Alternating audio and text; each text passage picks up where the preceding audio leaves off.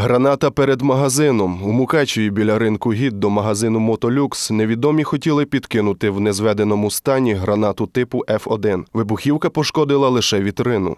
Від удару механічна структура предмету була пошкоджена, тобто вибух міг статися в будь-який момент.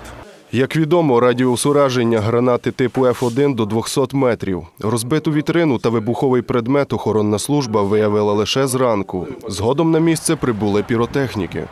Під час огляду безпосередньо гранати було виявлено механічні пошкодження е, безпосереднього самого підривника.